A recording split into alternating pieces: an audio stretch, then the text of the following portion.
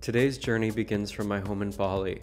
Because it was the day before the G20 summit with world leaders descending on the island, I was afraid that the road to the airport might be paralyzed with traffic and security, so I uncharacteristically left four hours before my scheduled flight time.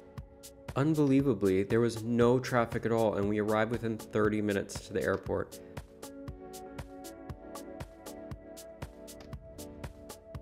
Today I was flying Turkish Airlines in business class to Lisbon with a layover in Istanbul. There were a few people ahead of me at the check in, and I waited about five minutes before I had my boarding pass in hand. I breezed through security and immigration, and within about 10 minutes, I was in the premium lounge. It was nice to see that the lounge had returned to full service as my last two visits there shortly post pandemic revealed an anemic offering, to say the least. Today there was an open bar with a couple drink selections along with a hot buffet. However, the lounge was absolutely packed. This premium lounge serves all the major airlines and seating was quite limited during my afternoon visit. A few hours later, it was time to finally head to the boarding gate. My flight was departing at 9 p.m., which was actually the very first time I'd ever left Bali on a flight in the evening. Of course, I was excited to be flying in business class and had never flown Turkey's 787 before. I had selected seat 7A for the 12 hour flight from Bali to Istanbul, which, when I arrived at my seat, I discovered to be somewhat of a mistake as the seat was aisle adjacent instead of being tucked towards the window like the even numbered seats. Somewhat surprisingly, the business class cabin was completely full. Homemade lemonade with mint. It's really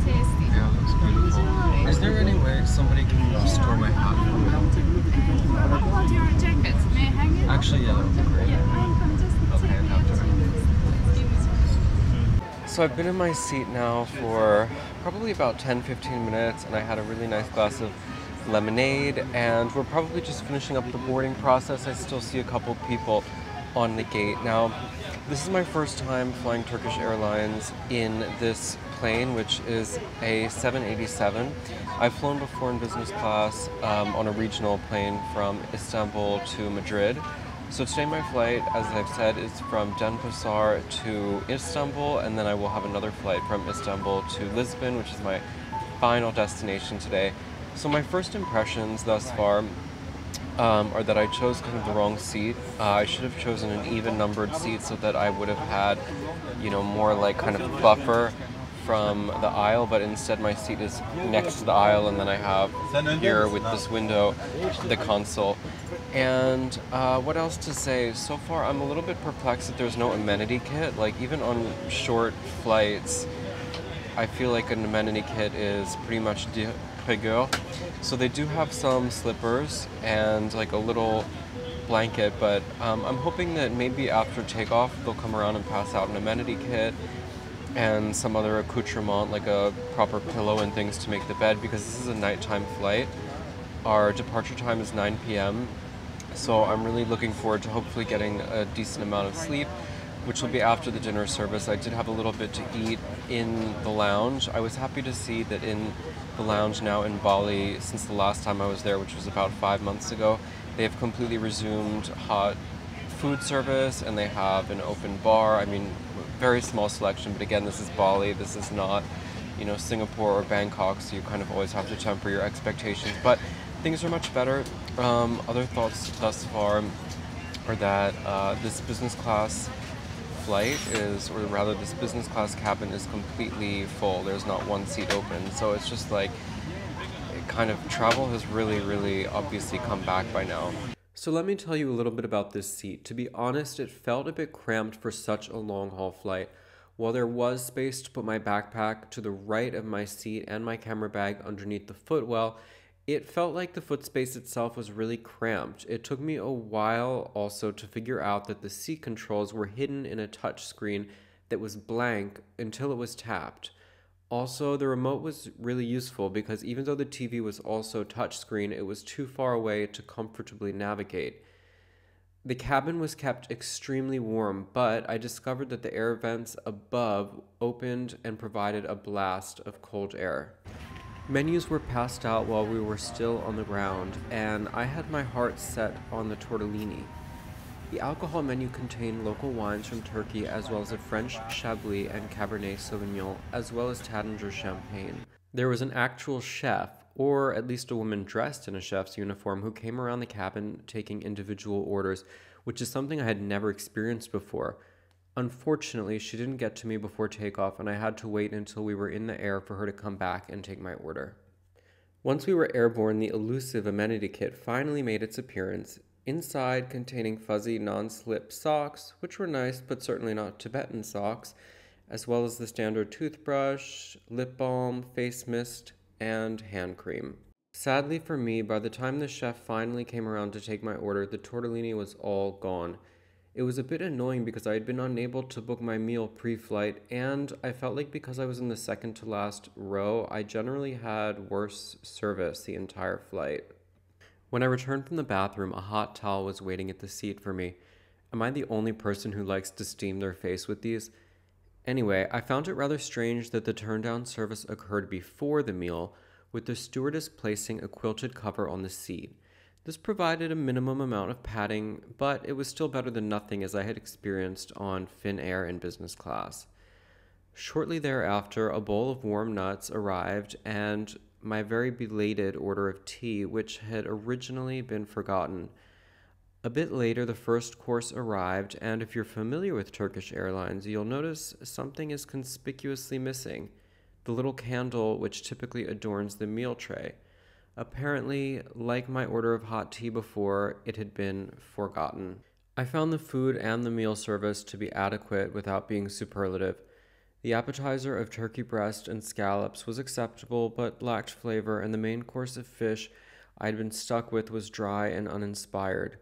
I hate to complain about things like this, but on an airline that prides itself for its dining experience and a country that overall has an exceptional cuisine, it was disappointing. At least the array of Turkish desserts were tasty, and when the chef came over to ask how everything was, and I pointed out that I never got my little candle, she was extremely apologetic and ran to bring one to my seat. With that, my Klonopin kicked in and I passed out. All I can say is thank God for Klonopin because this bed was quite possibly the most uncomfortable business class bed that I recall sleeping on. Like the footwell is so narrow, so it's impossible to sleep really on your side, which is how I typically sleep. And I just felt like I was tossing and turning and really uncomfortable, but I was shocked because I opened my eyes and I see the stewardess right in front of me and I ask her, What time is it? And she said, We have only one hour to landing and it's the breakfast service now. So, oh my god, I can't believe it, but I actually slept more or less for about eight hours. Really, really surprised. My mouth is extremely dry. But again, I'm just happy to have slept through this because it was not the most comfortable business class seat. And I'll have more to share as I start to kind of wake up, I just ordered a Turkish coffee, which I'm really excited to have. Turkish coffee is so tasty. And then the breakfast service, and without really much more time, we'll soon be awake. We'll soon be landing. Turkish coffee time? Yes, please. So excited. Turkish coffee really is the best. Oh, with little Turkish delight. Enjoy, sir. Thank I hope you. you are not disappointed now. we'll see after breakfast. Okay. you guys, I'm trying the Turkish coffee and I'm really wondering can somebody tell me is it supposed to taste so sandy like that you taste all of the coffee grinds on the top? I've had Turkish coffee before and in my recollection it wasn't like that. It was smooth because they strain out all of those coffee grains. So this one kind of it tastes like I'm being poisoned, if I'm being completely honest. I'm happy to have my proper American coffee. Ah, nice and smooth without feeling coffee grounds in your mouth. I try. I change it. Are you gonna tell my future? She's telling me. No, she's telling me that you can tell the maybe future. girls, I'm not like standard girls. I'm a scientist, some some kind of. I mean, Wait, so this one Would you has. like try this also? I would, yeah, yeah, Uh, please. I did my best. I Because- changed something, but uh, it is not possible to make the same like in the on the ground. Like smooth, yeah? Yeah, I'm just uh, normally we are uh, boiling it Yeah. uh, in the uh, pot. Yeah. I don't have. Uh, You don't have a oven. strainer? I don't have oven.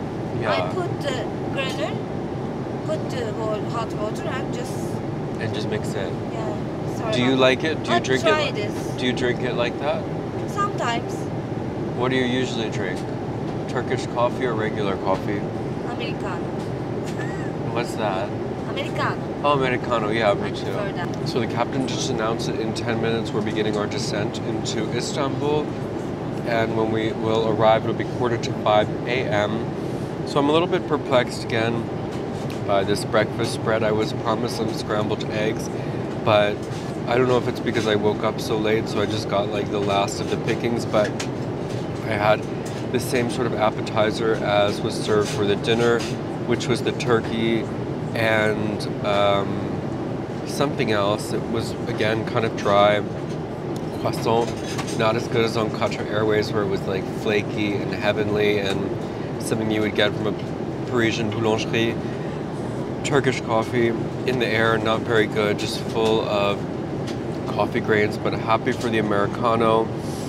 And I'm sure that by the time I get to the Istanbul Lounge, I mean, hopefully that it's not so so early, but they should have some kinds of breakfast foods there.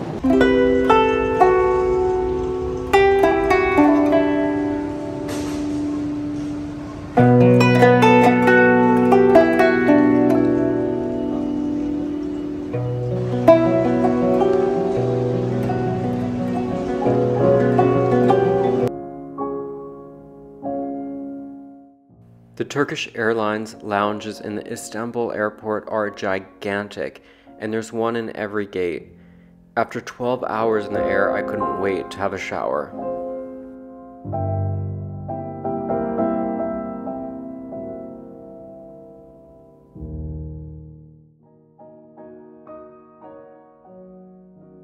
I just don't think that there's any better feeling in the world that when you get off a 12 hour flight to be in the airport lounge and they have a shower that is as fabulous and luxurious as this. Now, Turkish Airlines has really kitted out the amenities. They have the bathrobe, they have the slippers, of course, they have the little vanity kit. And on the other hand, though, I always come prepared with my own vanity kit. So I uh, I just washed my body and now I need to go through my whole morning routine of moisturizing and cleansing and all of that stuff just to kind of make me feel like a human again because it's actually 6 a.m. right now local time here in Istanbul, which is about nearly 10 a.m. I believe in Bali. So this is typically the time that I would be awake and it does seem like I got a decent amount of sleep on that flight. I have a lot of time before my connecting flight to Lisbon. I think somewhere around maybe five or six hours actually. And it was sort of amusing, though a little bit. I mean, I knew it was going to be okay, but I got into this lounge, and then when I went to ask about the showers to the concierge, she asked me for my boarding pass, and I looked through and I'm like, oh my god, where's my boarding pass? So at some point, somehow, I had lost it, but not a big deal. I went into the uh, lounge check-in counter and they were able to issue me issue me a new boarding pass. But then when I went back to the concierge, she asked my name and she had my boarding pass because apparently I had left it in the bathroom. Now I am not typically that absent-minded, but today, you know, after getting off a plane for 12 hours and still probably being under the effects of a sedative, I'm not 100% myself. So once I get cleaned up, I want to hit that breakfast bar, have some more coffee, settle down, maybe even do some shopping here in the Istanbul airport and just try to enjoy life a bit, right?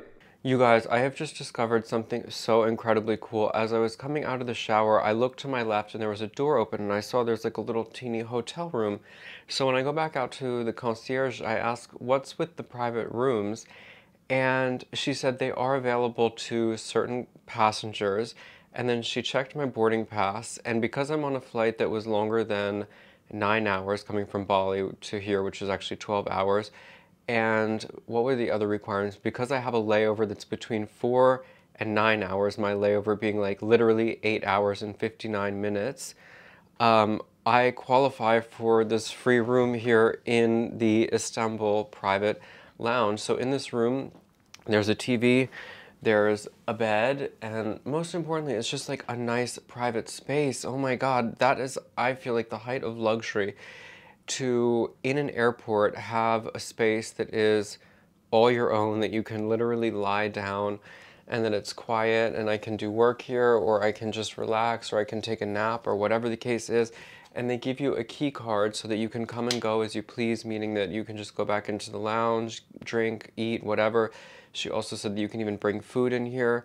So I'm just totally blown away. I had no idea that this existed and had I not just walked by one of these suites where the door was open, I would have had no idea that this is something that's even offered to people. And just my luck again that I fit literally all the requirements of being able to access this lounge. Again, coming from a long flight, having a long layover. So Turkish Airlines, in my opinion, just totally like raised um, in my estimations, even though again, I guess it now is a good time to just talk about my flight here in general. Like it certainly wasn't bad, but it did not in any way blow my mind. I just felt like the service itself was a bit haphazard. Um, they had run out of the dish that I had really wanted, and then the fish that was proposed to me by the chef, who was super nice and super apologetic that they didn't have it. Um, it just wasn't that great. I mean, again, I'm comparing now to experiences that I've had on other you know, gorgeous airlines flying international business class. And so it just was a bit lackluster in that sense. And then I just kind of felt like at times the service was a little bit weird, like just not on their game. They never gave me the little uh, lamp that they gave other people. And then when I talked to the chef, because she had come over to me and asked how was everything, um, I said, uh, you know, I'm just curious, how come they didn't give the lamp? Like, this is actually something that Turkish Airlines promotes as part of their service. And she said, oh my God, I'm so sorry. You know, we just have such a full flight, but let me go bring you one right away. So, in that sense, you know, they were really responsive and apologetic. But again, I just felt like there were some like service issues that was not as attentive as I have come to expect on other airlines. But long story short, for a 12 hour flight, the fact that I did get to sleep for eight hours, that's more thanks to Klonopin than anything. Um, you know, and food was okay. I missed most of the breakfast service because I woke up so late, so I only kind of had the like breakfast appetizer and missed out on what would have been either scrambled eggs or pancakes, but that's fine by me because here I am in the lounge and there's tons of food here anyway. So my plan now is that since I'm washed up, I want to go back and get some food, get some coffee, bring it back into my own little private oasis here and just, I mean, just chill out. Like I could not be more excited and on cloud nine. Like I have never experienced anything, literally anything like this before where I have my own private suite in an airport lounge. I mean, I've never flown like first class. I mean, like the step above business class or suites or anything like that. So I don't know what that level of treatment is, but already for me, my mouth is just like, ah, how amazing and how cool is this?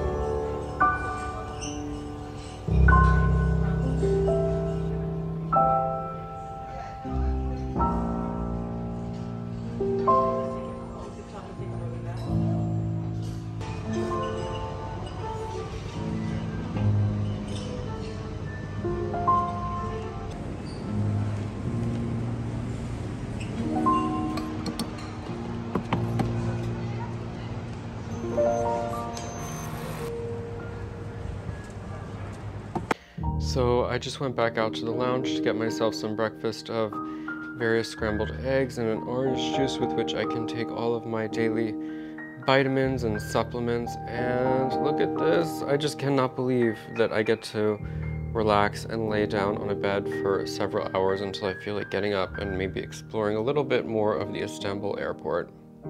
I've had the most delightful nap for the last hour. I'm actually so surprised at how comfortable this bed is. It's almost as comfortable as my bed at home with its two feather topper mattresses. So now feeling like pretty revived, I've decided to go back and get a little bit more food this time, getting another cup of coffee. First, I tried the Turkish coffee again just to compare the difference between how it is on the ground versus how it was in the air. On the ground, it was definitely a bit better. It's similar to espresso, it's just that it has so much like grounds in it by the time you reach the bottom. So I'm happy back to my Americano, which I can mix with my collagen powder. That's something that I do literally every single day. And I still had some of these packets left over from Thailand. So I also got, which I'm excited to try, is this traditional Turkish dish. I already forgot the name in Turkish. When I looked at it, I said to myself, okay, remember that name, remember that name so you can say it on the video. And then literally a second later, it was out of my head. But it is rolled and has some cheese and looks like some spinach or something in it. Anyway, my experience with food in Turkey is that anything that combines carbs and cheese in this country is just absolutely delicious. So now it is 9:23 a.m. local time and my boarding time is 12:50. So I still have a good 3 something hours. I think that I'm going to continue to relax a little bit and then I may venture out downstairs to just kind of window shop because at this point in my life, I really don't need stuff that you buy in airports and, you know, but it could be fun. After delightful several hours in my private suite, it was time to head to the gate for my flight to Lisbon. Once I arrived, I found out that boarding was delayed and waited around 20 minutes until it began. The flight to Lisbon was just under five hours and was on an Airbus A320 with 10 seats in business class. This time the cabin was only half full. I found it strange, though, that Turkish used this particular plane on this route versus their lie flat configuration that I had previously flown to Madrid. The seat felt like a U.S. domestic first class seat. It had a nice amount of recline, and the leg rest came out with a separate footrest but lay flat it was not. In the middle console were the seat control buttons, a power outlet, and the remote, which was hidden away under the armrest. The remote had a touchscreen, which was better for controlling the TV, also touchscreen, that had a little bit of tilt. We were a bit delayed for takeoff, but eventually I was offered a welcome drink, and soon boarding was complete with no one next to me, meaning my Cordoba hat had its own seat for the flight. As this was an afternoon flight, a lunch service was offered, and this time I actually wanted the fish, but got into a drama when I was told that there was no fish left. This time, though, I really let the stewardess have it because I was still annoyed that they didn't have the meal that I had wanted on my previous flight. She asked if I wanted an economy meal instead, which obviously I didn't. She went back to the galley and discovered somehow that there was one sea bass left and offered it to me. Unfortunately, that didn't really solve all the problems. As I mentioned on the previous flight, my impression was that Turkish's service was haphazard overall. You can see in the presentation of the lunch tray, the little salt and pepper shakers were knocked over, food was falling off the plate, and overall it was served without pride or attention. The sea bass itself was, again, okay, but nothing special or delightful. I just feel that for a flight as expensive as this, when other airlines are really offering something that is more like an experience than just a mode of transportation, Turkish could be doing a lot better. Certain small issues like consistently forgetting to bring things or waiting 5 to even 10 minutes after the call button was pressed seem like aberrations after my experiences in other premium cabins. Overall, it was a mixed bag, with the absolute highlight being the private suite on the ground in Istanbul and the low being the service on the flight to Lisbon. I hope you enjoyed traveling with me, and don't forget to subscribe to my channel to follow along on my journey in life and in Lisbon. Until the next time, take care, and I'll see you later.